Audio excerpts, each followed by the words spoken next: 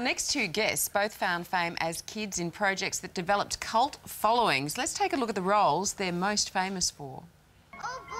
Noah Hathaway started out in the 1978 series Battlestar Galactica as Boxy.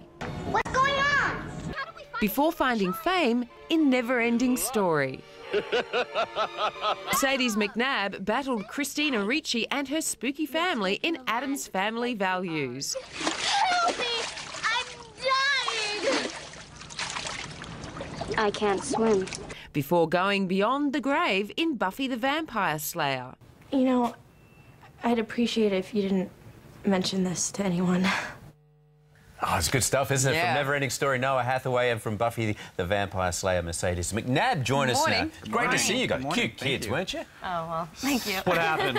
So cute. How Thank old you. were you when you were in Battlestar Galactica as Boxy? Six years old. Six. I didn't have any front teeth. I had lost, just lost my teeth. getting my big ones. That's how young I was. Uh-huh. No, did you choose acting or did did it choose you? I mean, how did you end up in that role? Well, my father was a, an acting teacher when I was a kid, and I think that's how it started. I was three, I started doing commercials, and, and at six, I did Battlestar, and I guess the rest is all history, I I- guess. Is it just a fun world at that stage, Mercedes, or is it pretty, you know, baffling to have all these directors and assistants around you? Um, I think when you're that young, you just don't even know what's happening, and it is more just fun than anything else. It's like make believe.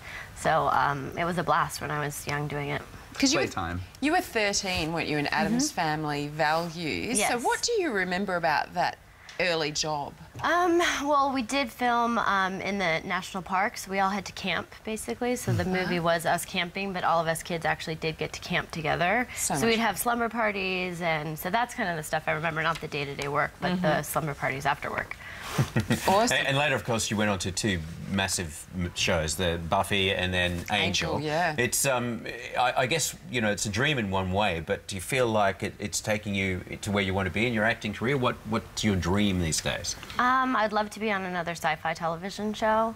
Uh, it's so much fun to be able to play a vampire, and Yeah. obviously everyone loves vampires. I don't know that I need to play a vampire again, but um, something in the kind of dream-like, surreal, you know, World. life would be awesome. Um, just because you can do so many different things. Mercedes, I mean, the fans of, of Buffy and Angel and these kinds of shows, they're unlike normal fans, aren't they? I mean, they're so incredibly passionate, yeah? Yes, passionate is a good word. Yeah, and they haven't given up on us. I mean, there's been so many other. There's the Twilights and the Vampire Diaries, all these other shows, and but we still are fans. We get new fans all the time. People watch all the DVDs, so it never ends. It's awesome. Uh, and no, they they know every single detail They of everything you've ever it done. do, It's yeah. crazy. Yeah, yeah, and uh, it doesn't stop. I'm still working. I got a couple movies coming out. I, I retired for about 15 years, and and Actually, I was going to ask you about that because you had an injury, didn't you, while you were shooting Neverending Story? yeah, before we started shooting, I had a really bad horseback riding accident, and the horse fell on top of me and, and crushed a vertebrae. And uh, I, before we shot a frame, I spent two months in the hospital. So, uh, yeah, that, it was, uh, and we shot for a year, so it was a long.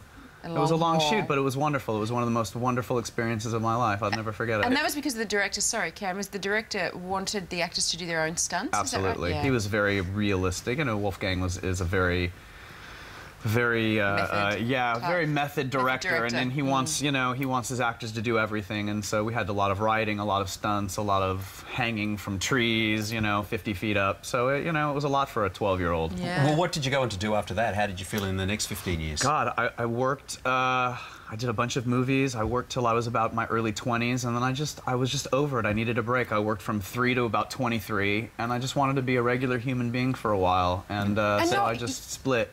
You were a dancer too, is yeah, that right? yeah. I started dancing when I was, I, I was super hyperactive as a kid, and so my parents put me in everything you could think of, and and I started tapping at four, and I danced with Michael Jackson and Gloria Estefan, and and uh, and then the injury kind of, you know, sidelined me. So, Hmm.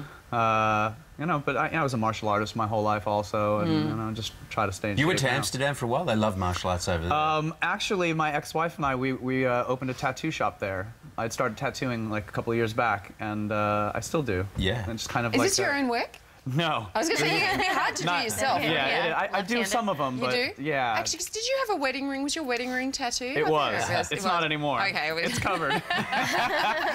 the, the girlfriend made me cover the ring up. Tell us about Supanova because this is a convention, obviously, that's going on in Sydney and Melbourne. Uh, got all- Sydney, Perth. Sydney. Sydney, Perth. Perth. We've got all the details on our website anyway, but Yeah. tell us about about it. Um, maybe the audience would know more than we do. I don't know. We just landed, Well, but it's, uh, it's, a, it's a big sci-fi fantasy convention where, where you know people get dressed up and they meet you know their favorite actors and celebrities and, and comic book writers and artists and it. And So it's it- like the Australian equivalent of Comic Con. Exactly. Comic Con, Exactly. which goes on in America every year. Absolutely, yeah. We're, we're premiering uh, this movie we have at Comic Con this year, so Okay. Have you got a really busy schedule, or have you got time to have a look around while you're here? Actually, we're just doing the convention for Saturday and Sunday, so we're going to stay for a couple of days in between and do the bridge climb and all that good Yeah, stuff. yeah, you've got to do that. Awesome. and and there's a new film, Sushi Girl. yeah, Sushi Girl. Mm-hmm. All right. Mark Hamill and Tony Todd, and we have this amazing cast, and uh, should be released in the next month or so. So glad you guys could come in today because Friday is our pub trivia day too. That's So great. do you want to hang around and play a bit of Australian? Might be a bit of Australian Oh, trivia, but no. I'll, I'll throw some questions your way. Thank don't you. worry. Yeah, be Oh, kind, thanks, please. Sonia. Thanks, guys. and now here's Janie.